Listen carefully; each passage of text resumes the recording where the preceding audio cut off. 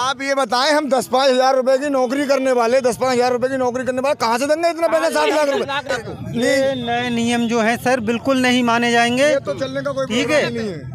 Driver को छुड़वाओ पहले अंदर से। ये सब ड्राइवरी बस अभी आया आप लोग बात करिए मैं एक मिनट पूरा अभी अभी एक मिनट एक मिनट। गलत है। बिल्कुल गलत है। जो पुराना कानून था वो सही था। ये तो कहता ये एकदम गलत है। क्या जो हिट एंड रन को लेकर नए नियम लागू हुए हैं उसको लेकर क्या कहना चाहते हैं? क्या ये ठीक है? तो बड़ा तकलीफ़ है इस नियम से। ये तकलीफ़ इसलिए है कि ड्राइवर कैसे चलाएगा गाड़ी ये नियम कोई हित में तो नहीं है ड्राइवरों के क्योंकि ड्राइवर वैसे बेचारा गरीब होता है और गरीबी में वो सात साल के बाद में क्या रोज़गार कौन गारंटी है उसके घर के पालन पोषण की? कोई गारंटी लेता है क्या? नए नियम को लेकर है। कहना चाहेंगे? नए नियम को मैं देखो नियम गलत है लेकिन उसके लिए ये तरीका अख्तियार नहीं होना चाहिए। सरकार सरकार ठीक कर रही है? सही कर रही ड्राइवर अंधाधुंध गाड़ी जाए दस मर जाए तुम्हारे घर को कोई मर जाए तो क्या करोगे? फिर सोचा कल जमानत हो जाएगी।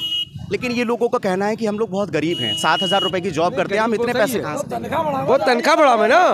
तनख्वाह बढ़ा में क्या दिक्कत है? हाँ, आप देख सकते हैं ये तस्वीरें हैं पीलीभीत रोड की और यहाँ पर बहुत लंबा जाम लगा हुआ है। मामला है ड्राइवरों से जुड़ा हुआ क्योंकि हिट एंड मामले को लेकर नए नियम जो आ रहे हैं उसको लेकर ये लोग आपत्ति जता रहे हैं और इनका कहना है कि जो रूल्स हैं उनको हम फॉलो नहीं कर पाएँगे। देखिएगा ये जो तस्वीरें हैं वो रिछोला चौकी की हैं। क्या मामला है? अरे ड्राइवर के लिए आया यार। गुड्डू यार। नहीं आपका क्या प्रदर्शन है? क्या मांगों को लेकर प्रदर्शन है? आप जैसे चल रहा था भाई चलने चलने दो जैसे चल रहा था भाई चलने दो। अच्छा। अब ड्राइवर के लिए बंद कर दिया हम कहें ड्राइवर को छोड़िए आप मारा। आप लोगों ने हाईवे जाम किया। है भी हमने जाम नहीं गिरा है। ये फिर किसकी गाड़ियाँ और लोगों की जाम और लोग गाड़ी है। ड्राइवर तो हम भी हैं। सबकी है ड्राइवर तो हम भी हैं। ड्राइवर के लिए बंद कर दिया। ठीक ठीक ठीक। कोई नहीं। बताएँ हम दस पाँच हज़ार रुपए की नौकरी करने वाले दस पाँच हज़ार रुपए की नौकरी करने वाले कहाँ से देंगे इतना पैसा? सात लाख रुपए। दस साल की जेल काटेंगे।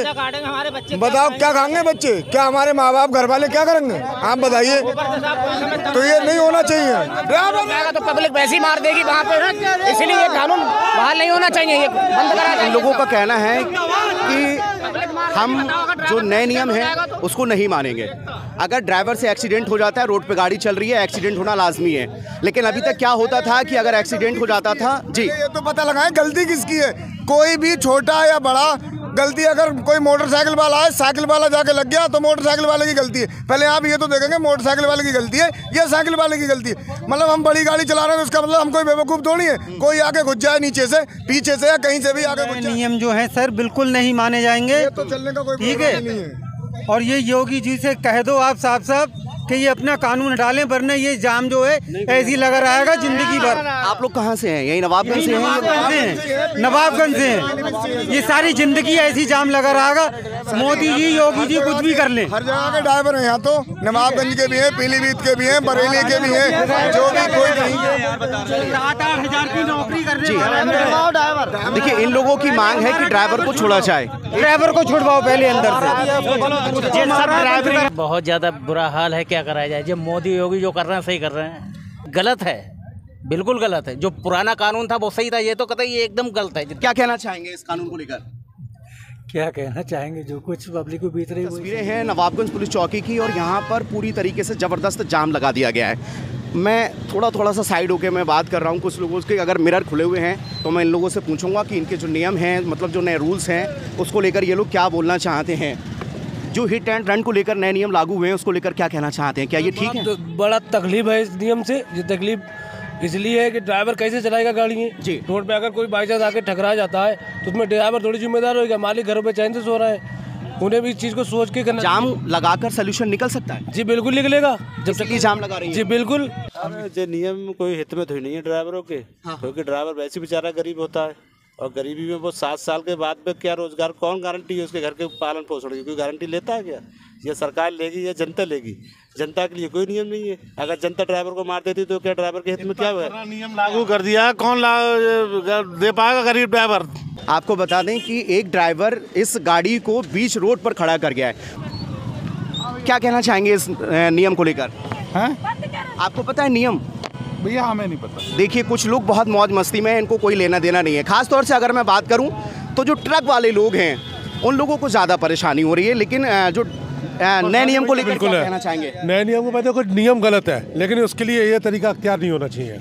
रोड जाम नहीं करना हाँ रोड जाम नहीं करना ठीक है। ये तो कानून वापस लेना चाहिए सरकार को जो कानून ड्राइवरों के लिए बनाया है वो वापस लेना तो चाहिए। आप लोग रोड जाम करके कैसे प्रदर्शन कर ये प्रदर्शन कर रहा है कि, कि हमारी तनख्वाह नौ हज़ार रुपए हम एक लाख दस लाख कहाँ से देंगे गवर्नमेंट सब्जियों के ट्रक भरे हुए हैं सिलेंडर नहीं आ पा रहा है चावल के ट्रक भरे हुए हैं। पूरी उस यूपी में पूरे उत्तर प्रदेश में पूरी उसमें है रोड जाम करके सोल्यूशन का हल निकल सकता है? थोड़ा बहुत हल निकलेगा सरकार आम जन जो परेशान हो रही है उसको लेकर आप जनता परेशान है ड्राइवरी पूरी जनता परेशान है। पैदल लोग जा रहे हैं सब। क्या कह रहे हैं? सरकार सरकार ठीक कर रही है? सही कर रही ड्राइवर अंधाधुंध गाड़ी जाए दस मर जाए तुम्हारे घर को कोई मरियाद क्या करोगे? फिर सोचा कल जमानत हो जाएगी। लेकिन ये लोगों का कहना है कि हम लोग बहुत गरीब हैं। सात हज़ार रुपए की जॉब करते हैं हम इतने पैसे कहाँ से देंगे? वो तनख्वाह बढ़ा में ना। तनख्वाह बढ़ा में क्या दिक्कत है? हाँ? इनके पास लग रहा है गाड़ी नहीं जिस तरीके से इनकी लैंग्वेज है। अरे सर। ना गाड़ी ना हमारे पास।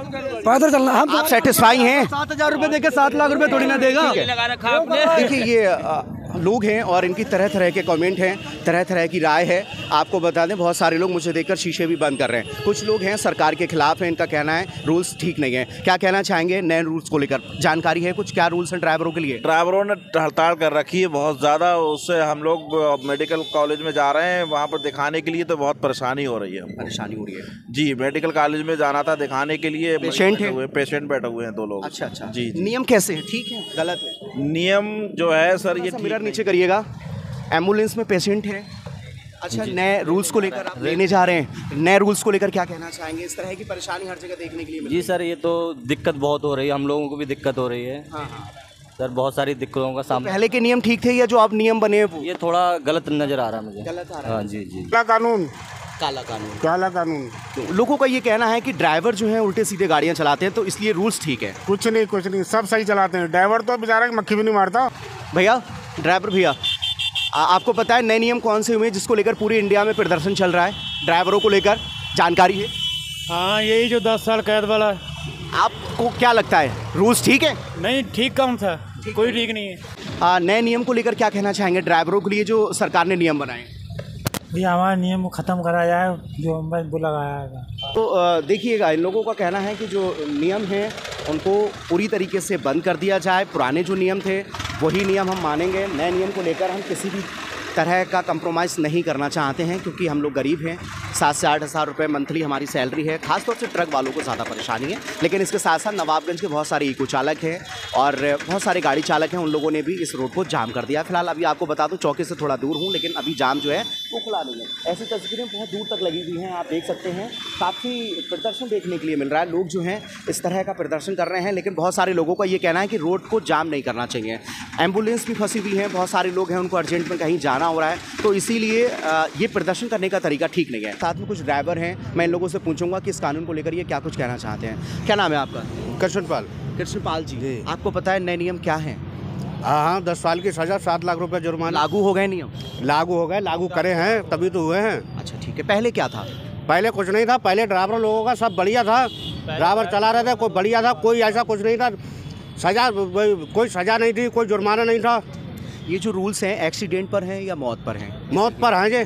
एक्सीडेंट पर भी मौत दोनों के बाद में अगर ड्राइवर भाग जाएगा उसको दस साल की सजा अच्छा। सात लाख रुपए जुर्माना। क्या कहना चाहेंगे इन नियम को सर ये कहना चाहेंगे अगर जैसे हम वहाँ से नहीं भागे हम बने रहेंगे तो हमें तो पब्लिक मार देगी। पब्लिक मार डालेगी। अच्छा अच्छा। जी तो हमें नियम से हम संतुष्ट हैं नियम करें फिर ड्राइवर के लिए भी तो नियम करें। कौन सी गाड़ी चलाते हैं? मेरे पास पिकअप है। जी। क्या कहना चाहोगे इस नए नियम को लेकर?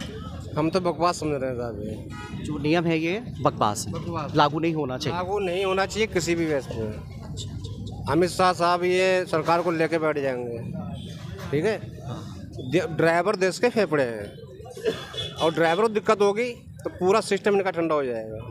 अभी देखा गया मैंने सुना है कि बहुत सारी गाड़ियाँ लगी हुई है लोडेड गाड़ियाँ हैं। सब्ज़ी है किसी में कुछ है ज़रूरतों का सामान है और मुझे लगता है जब रोड जाम हो जाएगा तो यहाँ तक नहीं आ पाएँगे। आम इंसान को भी परेशानी होगी। भाई ड्राइवर जब घर बैठ जाएगा गाड़ियाँ रोड पर खड़ी होंगी तो सामान कैसे पहुँचेगा?